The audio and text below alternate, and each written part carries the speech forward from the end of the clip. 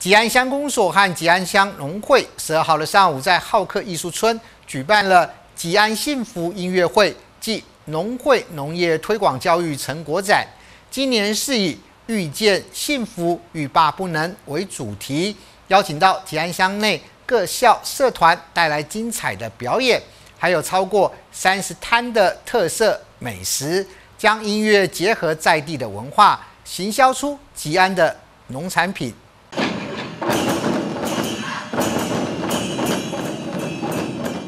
吉安乡公所与吉安乡农会携手办理的第二届“遇见幸福，欲罢不能”系列活动，十二号首日在吉安浩克艺术村热烈展开。广场中除了热闹非凡的吉安幸福音乐会，同时也展售农业推广教育成果与众多美食，吸引上千位民众前来共襄盛举。先来这个吉安这边体验的还不错，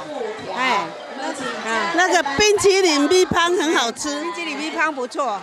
很特别，很特别，嗯，哪里很特别？那个饼有芋头，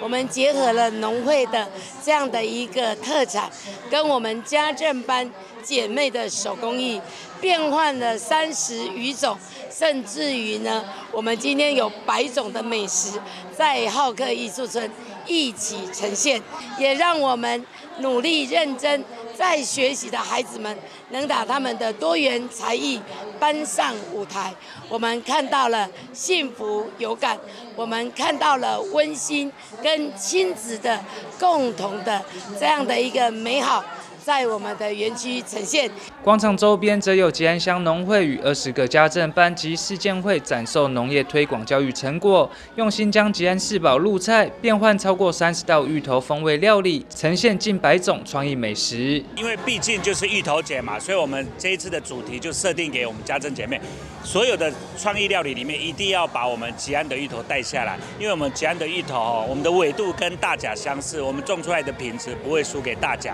所以我们是。希望说吉安的好芋头可以行销到全台湾去，所以也借由这个机会哈，请我们的家政姐妹，所有的创意料理都一定要跟芋头相关。县长徐正伟对于公部门可以横向连接举办活动，也给予高度肯定。谢谢农会啊，为我们花莲的农业农友的支持，更谢谢家政班所有的家政的班员，能够将我们所生产在地的我们的农业。我们的产物能够有更多的创意，而且让我们呈现在产地和餐桌上，是非常非常棒，而且非常多的美味佳肴。精彩表演轮番上阵，不少民众也都拿出手机记录下这难得的画面。吉安乡长尤淑珍也希望可以透过活动推广，缔造农民收益，结合教育，打造专属孩子的才艺舞台，用幸福的温度牵起吉安圆满的大未来。